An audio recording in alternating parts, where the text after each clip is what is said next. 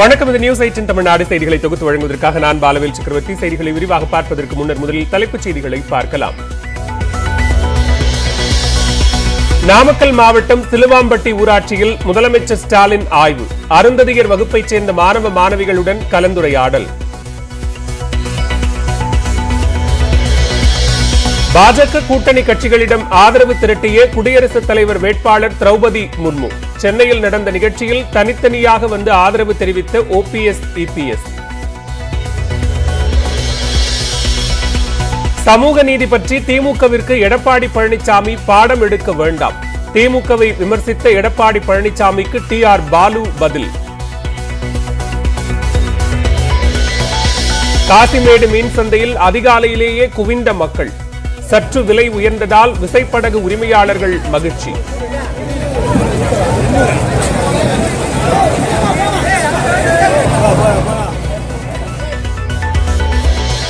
பொள்ளாச்சி அருகே கிராமத்துக்குள் புகுந்த சிறுத்தை கால்நடைகளை வேட்டையாடி வருவதால் விவசாயிகள் கவலை.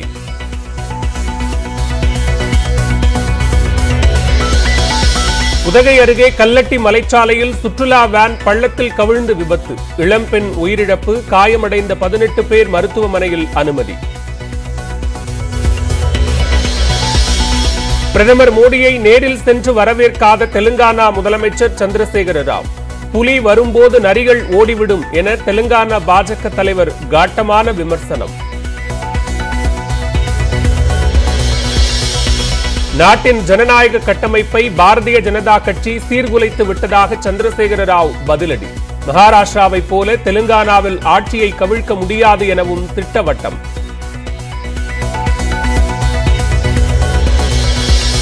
கோவாவில் தங்கியிருந்த ஆதரவு எம்எல்ஏக்களை மும்பைக்கு அழைத்து வந்தார் முதலமைச்சர் ஏக்நாத் ஷிண்டே. சட்டப்பேரவை கூட்டத்தொடர் இன்று தொடங்கும் நிலையில் நாளை நம்பிக்கை வாக்கெடுப்பு.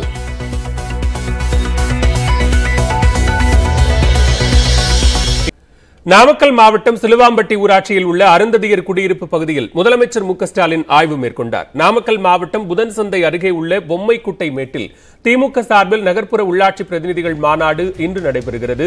கரூரில் நலத்திட்ட உதவிகள் வழங்கும் விழாவில் பங்கேற்ற முதலமைச்சர் ஸ்டாலின் அங்கிருந்து சாலை மார்க்கமாக நாமக்கல் செல்லும் வழியில் சிலுவாம்பட்டி ஊராட்சியில் ஆய்வு மேற்கொண்டார். அங்குள்ள நரிக்குறவரின மக்களை சந்தித்து அவர்களது கோரிக்கைகளை முதலமைச்சர் கேட்டறிந்தார். பின்னர் அருந்ததியர் உள் ஒதுக்கீட்டின் கீழ் கோவை மருத்துவக் கல்லூரியில் இரண்டாம் ஆண்டு பயிலும் மருத்துவ மாணவன் கவினுடன் முதலமைச்சர் கலந்துரையாடினார். அதனைத் தொடர்ந்து அருந்ததியர் பிரிவு சேர்ந்த மாணவ மாணவிகளுடன் முதலமைச்சர் கலந்துரையாடினார். அதன் பிறகு அங்கு வசிக்கும் ஹோமியோபதி மருத்துவர் ஜெயபிரகாஷ் என்பவரது வீட்டில் தேநீர் அருந்தினார்.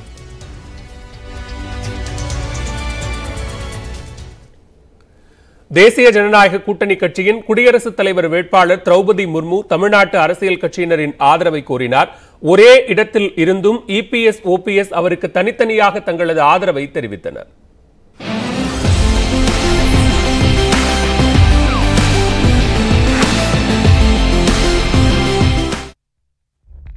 குடியரசுத் தலைவர் தேர்தல் வரும் பதினெட்டாம் தேதி நடைபெறவுள்ளது. இத்தேர்தலில் தேசிய ஜனநாயக கூட்டணி கட்சிகளின் சார்பில் திரௌபதி முர்மு போட்டியிடுகிறார். அவர் கூட்டணி கட்சியினரை சந்தித்து தனக்கு ஆதரவு கோரி வருகிறார். அதன் ஒரு பகுதியாக டெல்லியில் இருந்து சிறப்பு விமானம் மூலம் புதுச்சேரி வந்த திரௌபதி முர்மு தனியார் நட்சத்திர விடுதியில் நடைபெற்ற அறிமுக கூட்டத்தில் கலந்து கொண்டார்.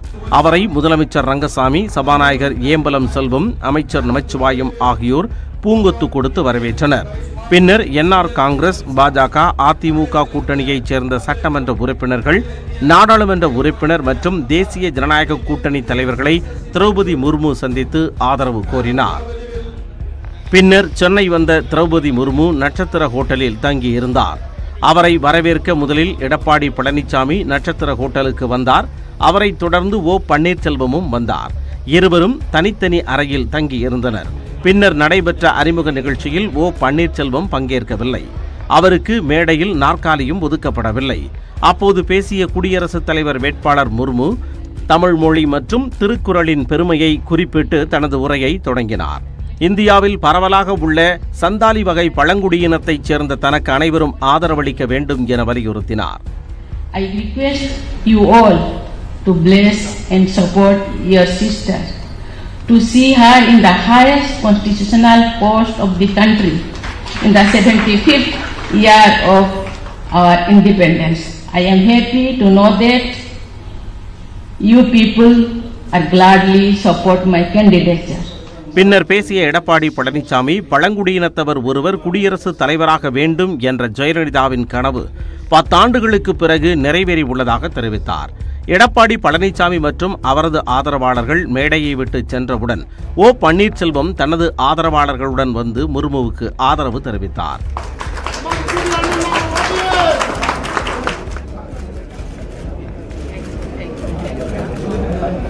பின்னர் செய்தியாளர்களிடம் பேசிய ஓபிஎஸ்ஸிடம் இருவரும் தனித்தனியாக முர்முவை சந்தித்தது ஏன் என கேள்வி எழுப்பப்பட்டது. அதற்கு தான் தான் அதிமுகவின் ஒருங்கிணைப்பாளர் என பதிலளித்தார்.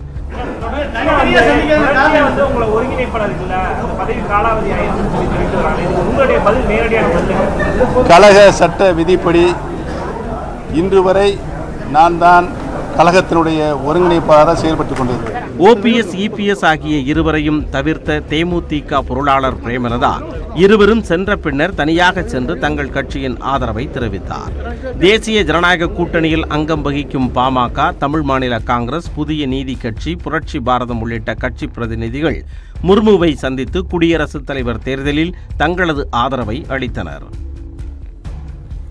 ஓபிஎஸ் தனியாக இருக்க அவர்தான் காரணம் என்று முன்னாள் அமைச்சர் ஜெயக்குமார் தெரிவித்துள்ளார். திரௌபதி முர்மு சந்திப்பு நிகழ்ச்சியில் மேடையில் ஓபிஎஸ்ற்கு இடம் அளிக்கப்படவில்லை.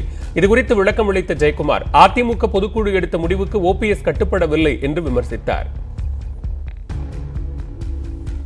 பொதுவாகவே உட்கட்சி விவகாரத்தை கோர்ட்டுக்கு கொண்டு போனது யாருங்க? கோர்ட்டுக்கு கொண்டு போனது யாரு? அது போலாமா முதல்ல கோர்ட்டுக்கு?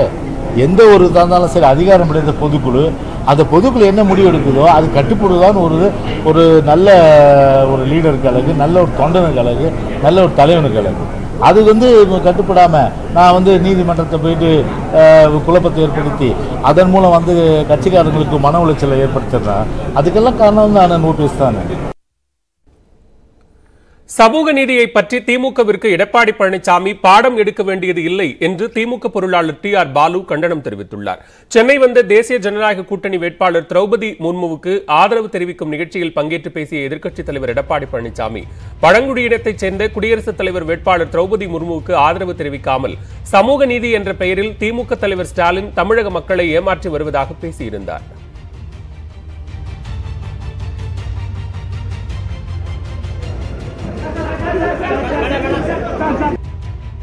தினந்தோறும் நூற்றுக்கு முன்னூறு தடவை திராவிட மாடல் என்று பேசிக் கொண்டிருக்கும் திரு ஸ்டாலின் அவர்கள் மதிப்புக்கு மரியாதைக்குரிய திருமதி திரௌபதி முர்மா அவர்களை மாண்பு பாரத பிரதமர் அறிவித்த நிலையில் அவரை திரு ஸ்டாலின் அவர்கள் ஆதரிக்காமல் திராவிட மாடல் சமூக நீதி என்று சொல்லிக்கொண்டு மக்களை ஏமாற்றுகிறார். இதனிடையே எடப்பாடி பழனிசாமியின் பேச்சுக்கு பதிலளிக்கும் விதமாக திமுக எம்பியும் பொருளாளருமான டி ஆர் பாலு வெளியிட்டுள்ள அறிக்கையில் கூட்டாட்சி தத்துவத்தை மதச்சார்பின்மையை மாநில உரிமைகளை மதிக்கும் ஒரு குடியரசுத் தலைவர் நாட்டிற்கு வேண்டும் என்ற நோக்கத்தில் யஷ்வந்த் சின்ஹாவை திமுக ஆதரிப்பதாக தெரிவித்துள்ளார். ஆனால் அதிமுகவில் உள்ள உட்கட்சி பூசல்களை மறைக்க வேண்டும் என்ற நோக்கத்திற்காக திமுகவையும் சமூக நீதியையும் கொச்சைப்படுத்தும் செயலில் எடப்பாடி பழனிசாமி ஈடுபட வேண்டியதில்லை என்று டி ஆர் பாலு குறிப்பிட்டுள்ளார். குடியரசுத் தலைவருக்கு ஆதரவு தெரிவிக்கும் நிகழ்ச்சியை அதிமுக அலுவலகத்தில் நடத்தாமல் நட்சத்திர விடுதியில் வைத்து அரசியல் நடத்தும் பழனிசாமி போன்றோர் திமுகவின் சமூக நீதி வரலாற்றை சற்று படித்து பார்க்க வேண்டும் என்றும் டி ஆர் பாலு பதிலடி கொடுத்துள்ளார்.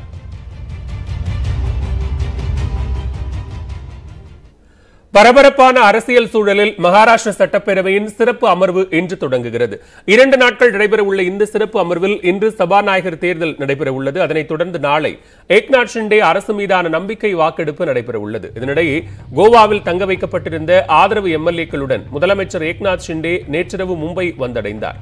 கோவாவிலிருந்து தனி விமானம் மூலமாக மும்பை அழைத்து வரப்பட்ட சிவசேனா அதிருப்தி எம்எல்ஏக்கள் சொகுசு பேருந்து மூலம் கொலாபா பகுதியில் உள்ள தாஜ் நட்சத்திர விடுதிக்கு பலத்த போலீஸ் பாதுகாப்புடன் அழைத்துச் செல்லப்பட்டனர். இன்றைய சிறப்பு சட்டப்பேரவை அமர்வில் ஷிண்டே ஆதரவு எம்எல்ஏக்கள் பங்கேற்க உள்ள நிலையில் தங்களுக்கு நூற்று எழுபதுக்கும் அதிகமான சட்டமன்ற உறுப்பினர்களின் ஆதரவு உள்ளதாக மகாராஷ்டிர துணை முதலமைச்சராக பதவியேற்றுள்ள தேவேந்திர பட்னவிஸ் தெரிவித்துள்ளார். இந்நிலையில் முதலமைச்சர் ஏக்நாத் ஷிண்டே மற்றும் துணை முதலமைச்சர் தேவேந்திர பட்னவிஸ் தலைமையில் அதிருப்தி சிவசேனா மற்றும் பாஜக எம்எல்ஏக்களின் ஆலோசனைக் கூட்டம் நட்சத்திர விடுதியில் நேற்றிரவு நடைபெற்றது. அதில் சட்டப்பேரவை நடவடிக்கைகள் மற்றும் சபாநாயகர் தேர்தல் குறித்து ஆலோசிக்கப்பட்டதாக கூறப்படுகிறது.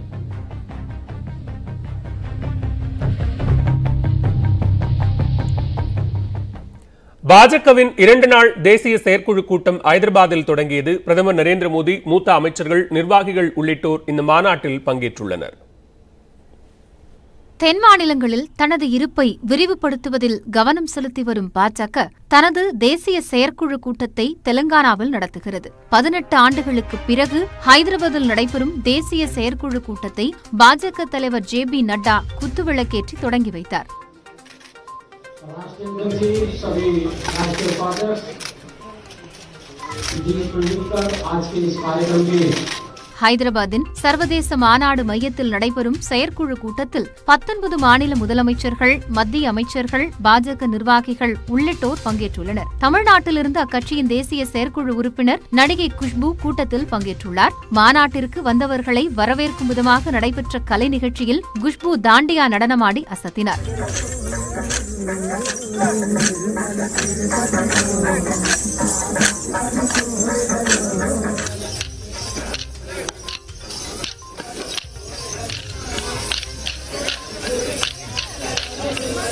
தேசிய செயற்குழு கூட்டத்தில் பங்கேற்க தனி விமானம் மூலம் ஹைதராபாத் வந்த பிரதமர் மோடியை தெலங்கானா ஆளுநர் தமிழிசை சவுந்தரராஜன் வரவேற்றார். ஆனால் அம்மாநில முதலமைச்சர் சந்திரசேகர ராவ் பிரதமரை வரவேற்க செல்லவில்லை. அவருக்கு பதிலாக அமைச்சர்கள் மற்றும் அதிகாரிகள் வரவேற்றனர். பிரதமர் வருகைக்கு முன்பாக அதே விமான நிலையத்திற்கு வந்த எதிர்க்கட்சி குடியரசுத் தலைவர் வேட்பாளர் யஷ்வந்த் சின்ஹாவை சந்திரசேகர ராவ் மற்றும் அம்மாநில அமைச்சர்கள் வரவேற்றனர்.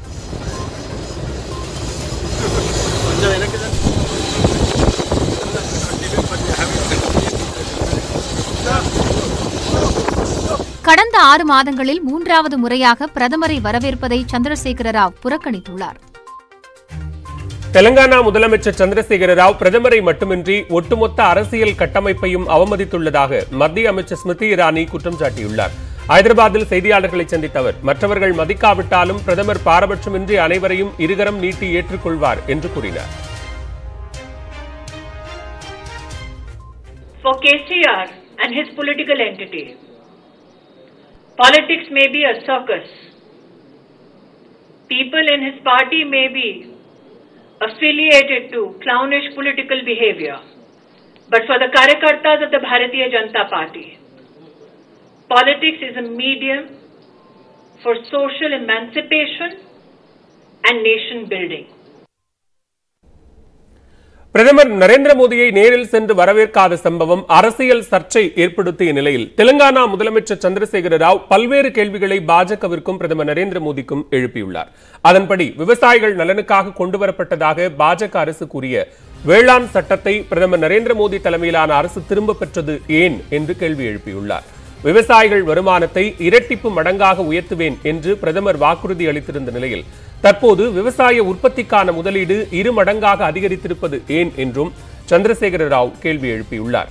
மேக் இன் இந்தியா திட்டத்தின் கீழ் எத்தனை வேலை வாய்ப்புகளை மத்திய அரசு உருவாக்கி இருக்கிறது என்ற புள்ளி விவரங்களை பிரதமர் நரேந்திர மோடி வெளியிட வேண்டும் என்று வலியுறுத்தியுள்ள சந்திரசேகர ராவ் வெளிநாட்டு வங்கிகளில் இந்தியர்கள் வைத்திருக்கும் கருப்பு பணத்தின் அளவு பிரதமர் மோடியின் பதவிக்காலத்தில் இரண்டு மடங்காக அதிகரித்துள்ளதாகவும் விமர்சித்தார். மகாராஷ்டிராவை போல தெலுங்கானாவிலும் ஆட்சி மாற்றம் நடக்கும் என்று பாஜகவினர் கூறி வருவது தொடர்பாக பேசிய சந்திரசேகர ராவ் முடிந்தால் ஆட்சி மாற்றத்தை நடத்தி காட்டுங்கள் என்று சவால் விடுக்கும் தொனியில் பேசினார்.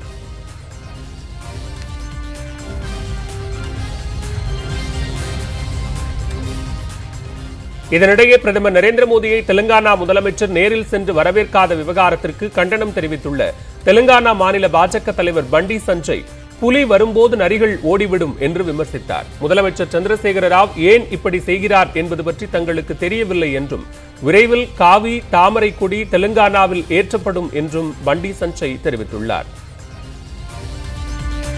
சென்னை காசிமேடு மீன் விற்பனை கூடத்தில் அதிகாலையிலேயே ஏராளமானோர் மீன்களை வாங்குவதற்காக கூடினர். ஞாயிற்றுக்கிழமை என்பதால் நள்ளிரவு முதலே மீன்களை விற்பனை செய்வதற்காக வியாபாரிகள் கூடினர்.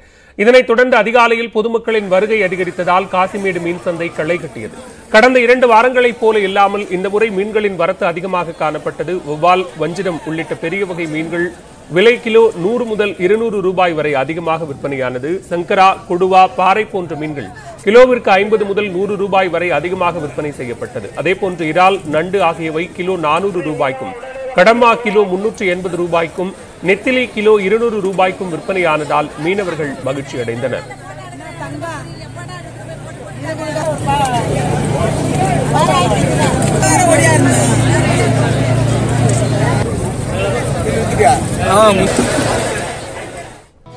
தொடர்ந்து விரைவு செய்திகளை பார்க்கலாம். மாற்றுத்திறனாளி மாணவர்கள் தேர்வு எழுத ஆய்வக உதவியாளர்களை உதவிக்கு அமர்த்தலாம் என உத்தரவிடப்பட்டுள்ளது. ஆட்டிசம் பிரச்சனையால் பாதிக்கப்பட்ட கோவையைச் சேர்ந்த டிப்ளமோ மாணவர் ஹரிகரன் தேர்வு எழுத உதவியாளர் இல்லாமல் அவதியடைந்தார். அவரால் பேச முடியாது என்பது கூடுதல் சிக்கலாக இருந்தது. இது தொடர்பாக நியூஸ் எயிட்டீன் தமிழ்நாடு தொலைக்காட்சி செய்தி வெளியிட்டது. மேலும் ஆட்டிசம் மற்றும் மாற்றுத்திறனாளி மாணவர்களுக்கு ஏற்றாற்போல் பல்வேறு சிறப்பு வசதிகள் இருக்கும் சூழலில் உயர்கல்வியிலும் மாற்றுத்திறனாளி மாணவர்களுக்கு சிறப்பு கவனம் செலுத்த வேண்டுமென ஹரிஹரனின் தாயார் வைத்த கோரிக்கையும் வெளியிடப்பட்டது. இந்த செய்தி வெளியானதும் அக்கோரிக்கையை ஏற்று மாற்றுத்திறனாளி மாணவர்களுக்கு அவர்களின் விருப்பத்தின் பேரில் அந்த கல்லூரி முதல்வர்களே ஆய்வக உதவியாளர்களை உதவிக்கு ஏற்பாடு செய்யலாம் என தொழில்நுட்ப கல்வி கூடுதல் இயக்குனர் உத்தரவிட்டுள்ளார். இதற்கு நன்றி தெரிவித்துள்ள பாலாஜியின் தாயார் இதற்கு முன் நடந்த தேர்வுகளையும் புதிய உத்தரவு அடிப்படையில் நடத்த கோரியுள்ளார். தருமபுரி மாவட்டம் நல்லம்பள்ளியில் பயன்பாட்டிற்கு வராத மேல்நிலை நீர்த்தேக்க தொட்டியில் எலும்பு கூடுகள் கிடந்ததால் பரபரப்பு ஏற்பட்டது. செட்டிக்கோம்பை கிராமத்தில் இரண்டாயிரத்து பதினேழில் அமைக்கப்பட்ட இந்த தொட்டியில் பைப்லைன் அமைக்கப்படாததால் பொதுமக்கள் பயன்பாட்டிற்கு வரவில்லை. இந்நிலையில் மூடப்பட்டிருந்த மூடியை சிலர் திறந்து பார்த்தபோது தொட்டிக்குள் எலும்பு கூடுகள் இருந்ததைக் கண்டு அதிர்ச்சி அடைந்தனர். பின்னர் மருத்துவத்துறையினர் மற்றும் தடயவியல் நிபுணர்கள் சம்பவ இடத்திற்கு வந்து எலும்புக்கூடுகளை கைப்பற்றி மருத்துவ சோதனை செய்தனர். சோதனையில் அது குரங்கின் எலும்புக்கூடு என தெரிய வந்தது மேல்நிலை நீர்த்தேக்க தொட்டியில் ஏறிய குரங்கு தவறி உள்ளே விழுந்து மேலே ஏற முடியாமல் உயிரிழந்திருக்கலாம் எனவும் கூறப்பட்டது. மகாராஷ்டிராவில் நுபுர் சர்மாவிற்கு ஆதரவான கருத்துக்களை சமூக வலைதளங்களில் பகிர்ந்த மருந்துக்கடை உரிமையாளர் கொலை செய்யப்பட்டது தொடர்பாக தேசிய புலனாய்வு முகமை விசாரணைக்கு மத்திய உள்துறை அமைச்சர் அமித்ஷா உத்தரவிட்டுள்ளார். அமராவதியில் வசித்து வந்த உமேஷ் கோலே கடந்த இருபத்தோராம் தேதி வீடு திரும்பும் வழியில் கழுத்தறுத்து கொலை செய்யப்பட்டார்.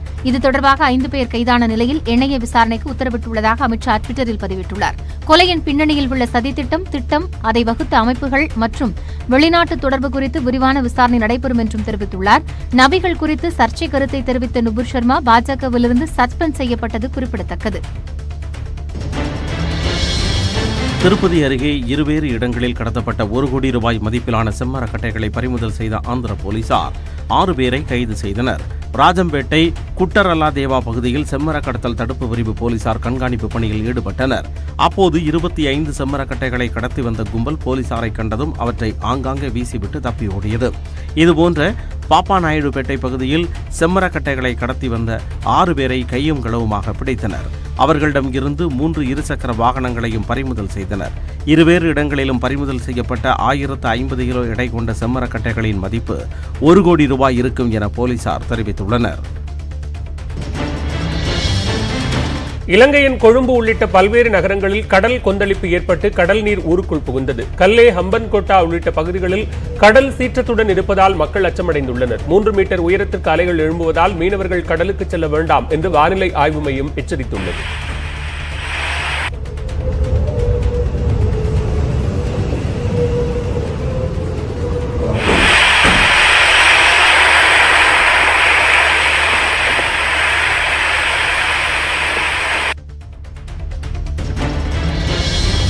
திருநெல்வேலி நெல்லையப்பர் கோயில் யானைக்கு கால் வலிக்கக்கூடாது என்பதற்காக பக்தர்கள் சார்பில் காலணிகள் நன்கொடையாக வழங்கப்பட்டுள்ளன. தமிழகத்தில் பிரசித்தி பெற்ற திருக்கோவில்களில் ஒன்றாக நெல்லையில் அமைந்துள்ள சுவாமி நெல்லையப்பர் கோவில் விளங்குகிறது. இந்த கோவிலில் காந்திமதி என்ற யானை பராமரிக்கப்பட்டு வருகிறது. தற்போது ஆணி திருவிழா தொடங்கிய நிலையில் சுவாமி ரத வீதியில் உலா வரும்போது யானை காந்திமதி முன் செல்வது வழக்கம். அப்போது மிடுக்கான அலங்காரத்துடன் காலில் வெள்ளிச் சலங்கை கட்டி காந்திமதி வலம் வரும். தற்போது ஐம்பத்தி இரண்டு வயதாகும் யானை காந்திமதிக்கு கோவில் நிர்வாகம் சார்பில் சிறப்பான வசதிகள் செய்து கொடுக்கப்பட்டுள்ளன.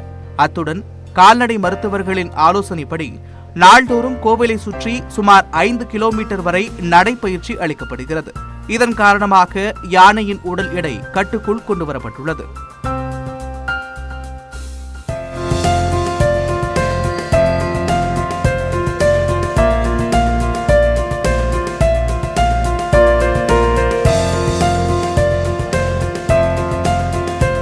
எனினும் காந்திமதிக்கு வயது முதிர்வு ஏற்பட்டுள்ளது. காந்திமதிக்கு தற்போது ஐம்பத்தி இரண்டு வயது ஆகிறது யானையையும் குழந்தையாக பாவித்து நெல்லையப்பர் கோவில் நிர்வாகம் மற்றும் பக்தர்கள் பாசம் காட்டி வருகின்றனர்.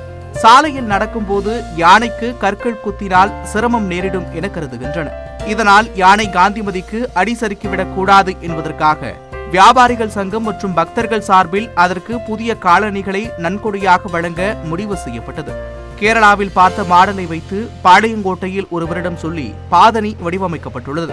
இந்த பேட்ச் ஒர்க்கில் வந்து இப்போ சிறு சிறு கற்கள் யானை காலில் குத்துறதுனால யானை நடக்க கொஞ்சம் சிரமப்படுது. அதனால் யானைக்கு வந்து காலுக்கு வந்து செருப்பு தைக்கணுங்கிறது கொஞ்சம் பக்தர்கள் சில ஆட்கள் சொன்னாங்க. திரு நா ஆர் நாராயணன் அவர்கள் தன்னோட சொந்த செலவில் அவரே பண்ணி கொடுக்கேன்னு சொல்லி அவர் பண்ணி கொடுத்துருக்காரு. தற்போது காலணியை அணிய காந்திமதி சற்று அடம் பிடிக்கிறது. அதனால் அதற்கு பயிற்சி அளிக்கப்பட்டு வருகிறது. இதை காந்திமதி ஏற்றுக்கொண்டால் தமிழகத்தில் உள்ள இதர கோவில்களிலும் உள்ள யானைகளுக்கு இந்து சமய அறநிலைத்துறை சார்பில் இலவசமாக காலணி வழங்க வேண்டும் என்று பக்தர்கள் கோரிக்கை விடுத்துள்ளனர். நியூஸ் எயிட்டின் தமிழ்நாடு செய்திகளுக்காக நெல்லையிலிருந்து செய்தியாளர் ஐயப்பன். மேலும் பல்வேறு செய்திகளை விரிவாக பார்க்க இருக்கிறோம். குறிப்பாக கொடைக்கானல் மன்னவனூர் சுற்றுலா தலத்துக்கு படையெடுக்கும் சுற்றுலா பயணிகள். விவரம் அறியலாம் இடைவேளைக்கு பிறகு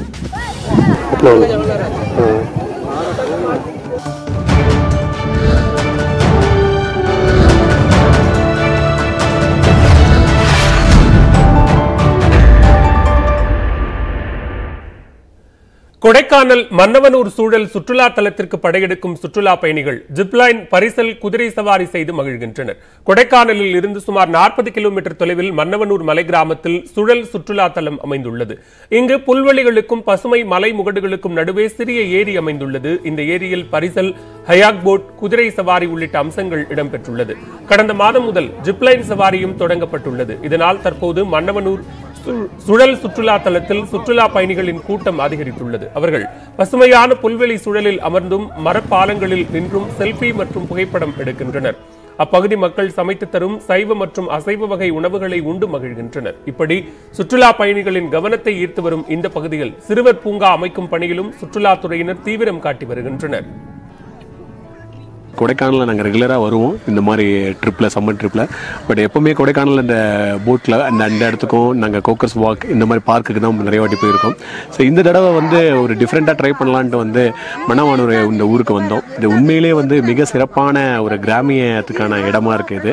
இதில் இன்னொன்று நல்ல விஷயம் என்ன பார்த்தீங்கன்னா எங்கள் கிராமத்து சாப்பாடு. வரவங்களை எல்லாருக்கும் கண்ணுக்கு நிறைவாகவும் வயிறுக்கு நிறைவாகவும் ஒரு நல்ல ஒரு மகிழ்ச்சியாக இருக்குது கொடைக்கானல் ட்ரிப்காக வந்தோம். அப்புறம் இங்கே எல்லா இடமே சுற்றி பார்த்துட்டு இங்கே மன்னவனூர் Uh, பார்க்குக்கு வந்தோம். Uh, இங்கே வந்துட்டு boat riding and horse riding and ஜிப்ஸோன் எல்லாமே இருக்குது ஸோ uh, இங்கே ஃபுட்டும் கூட வந்து ட்ரெடிஷ்னலாக இருக்குது ஸோ எல்லாமே நல்லா இருக்குது இங்கே சுற்றி பார்க்கறதுக்கு. அண்ட் கிளைமேட் ஆல்சோ நல்லா uh, நல்லா இருக்குது பிகாஸ் அங்கே எல்லாமே வந்து ஹாட்டாக இருக்கும். இங்கே எல்லாமே கோல்டாக இருக்கனால இங்கே நல்லா வந்து என்ஜாய் பண்ணிருக்கோம். பொள்ளாச்சி அருகே ஊருக்குள் புகுந்து கால்நடைகள் மற்றும் வளர்ப்பு நாய்களை கொன்ற சிறுத்தையை கூண்டு வைத்து பிடிக்க தீவிர முயற்சி மேற்கொள்ளப்படுகிறது. ஆனைமலை புலிகள் காப்பகத்தை ஒட்டியுள்ள புளியங்கண்டி கிராமத்திற்குள் புகுந்த சிறுத்தை ஆறு ஆட்டுக்குட்டிகள் உட்பட பத்துக்கும் மேற்பட்ட கால்நடைகளை வேட்டையாடியுள்ளது. மேலும் ராஜேந்திரன் என்பவருக்கு சொந்தமான தோட்டத்தில் புகுந்து வளர்ப்பு நாயையும் கொன்றுள்ளது. இதனால் அப்பகுதி மக்கள் கால்நடைகளை மேய்ச்சலுக்கு அழைத்துச் செல்ல முடியாமல் அச்சத்தில் உள்ளனர். மேலும் கடந்த நான்கு மாதங்களாக தங்களை அச்சுறுத்தி வரும் சிறுத்தையை கூண்டு வைத்து பிடிக்க வேண்டும் என்றும் கோரிக்கை விடுத்தனர். இதனையடுத்து சிறுத்தை சிறுத்தையை பிடிக்க வனவர் பிரபாகரன் தலைமையில் இரண்டு குழுக்கள் அமைக்கப்பட்டுள்ளது. நான்கு கண்காணிப்பு கேமராக்கள் பொருத்தப்பட்டு தீவிரமாக கண்காணிக்கப்படுகிறது. புதையலில் கிடைத்த நகை இருப்பதாக கூறி ஹோட்டல் உரிமையாளரிடம் ஐந்து லட்சம் ரூபாய் மோசடி செய்த வடமாநில கும்பலை போலீசார் தேடி வருகின்றனர். விக்டோரியா மகாராணியின் நகை என்று மோசடி செய்த கும்பலின் பின்னணி என்ன?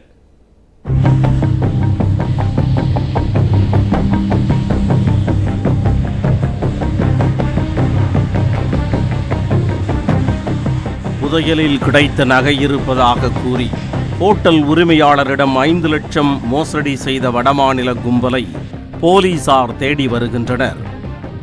விக்டோரியா மகாராணியின் நகை என்று மோசடி செய்த கும்பலின் பின்னணி என்ன?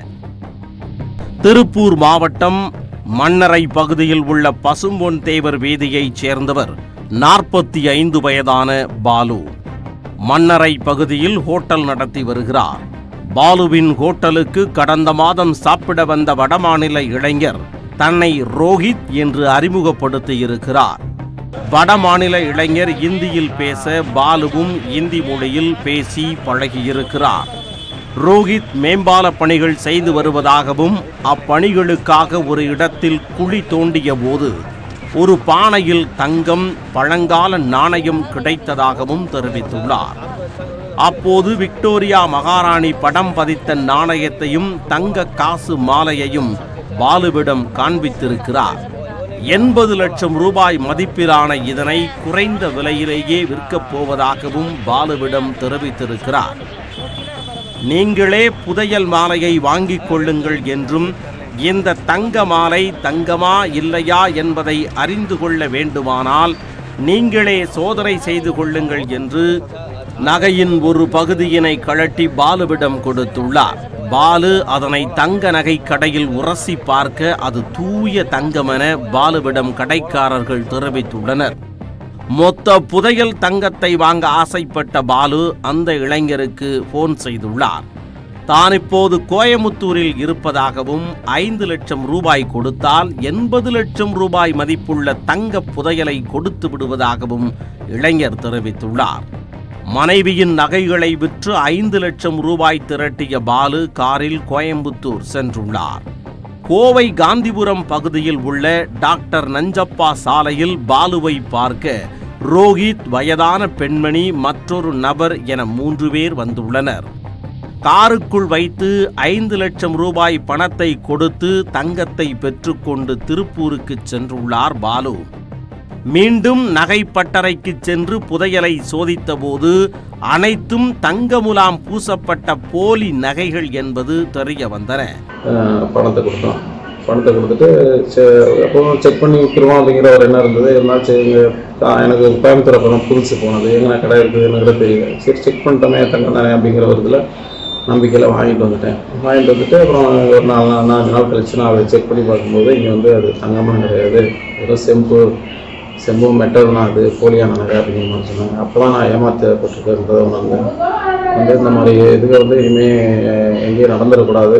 யாரும் கொஞ்சம் விழிப்புணர்வாக இருங்க. இந்த மாதிரி ஏமாற்றலாம் நிறையா நடக்குது நிறையா நான் ஹோட்டல் தொழில் வச்சு ரொம்ப கஷ்டப்பட்டு சிறு சிறுவை சம்பாரித்து அடுத்த வருஷம் அந்த வீடை கட்டுறோம் அந்த வீடு கூட பார்த்தீங்கன்னா ஒரு ஓட்டு வீடு தான் அது கட்டணுங்கிற ஒரு இதில் வந்து சேர்த்து சிறு சிறுவை சேர்த்து வச்சது. இப்படி ஏமாந்து இழந்துட்டோம்னா ரொம்ப ஒரு பத்து நாளாக வீட்லேயும் பிரச்சனை எல்லாத்துக்கும் பிரச்சனை மனசு கஷ்டம். கோவை காட்டூர் காவல் நிலையத்தில் பாலு கொடுத்த புகாரின் பேரில் விசாரணை நடந்து வருகிறது. தேனி மற்றும் சுற்றுவட்டார பகுதிகளில் சுமார் அரை மணி நேரம் இடி மின்னலுடன் மழை பெய்தது. தேனி அல்லிநகரம் லட்சுமிபுரம் பெரியகுளம் சோத்துப்பாறை அணை மற்றும் சுற்றுவட்டார பகுதிகளில் பரவலாக பெய்த மழையால் சாலைகளில் மழைநீர் பெருக்கெடுத்தது. இந்த மழை விவசாய பணிகளுக்கு கை கொடுக்கும் என்று உழவர்கள் மகிழ்ச்சி தெரிவித்துள்ளனர்.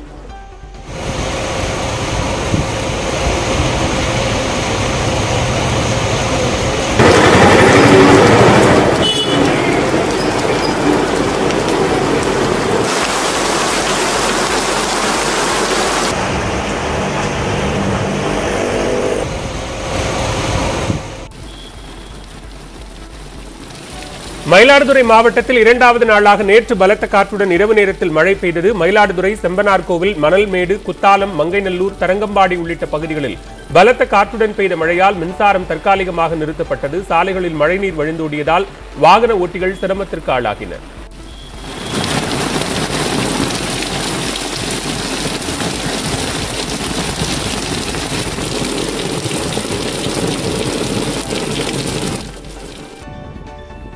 நாகை மற்றும் சுற்றுவட்டார பகுதிகளில் தொடர்ந்து மூன்றாவது நாளாக மாலை நேரத்தில் பரவலாக மழை பெய்தது. இதனால் சுற்றுவட்டார பகுதி மக்களும் விவசாயிகளும் மகிழ்ச்சி அடைந்தனர்.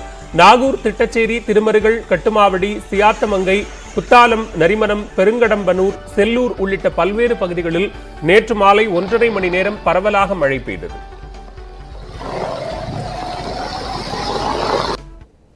மேலும் பல்வேறு அண்மைச் செய்திகளுக்கு தொடர்ந்து நின்றுங்கள் இது நியூஸ் எயிட்டின் தமிழ்நாடு.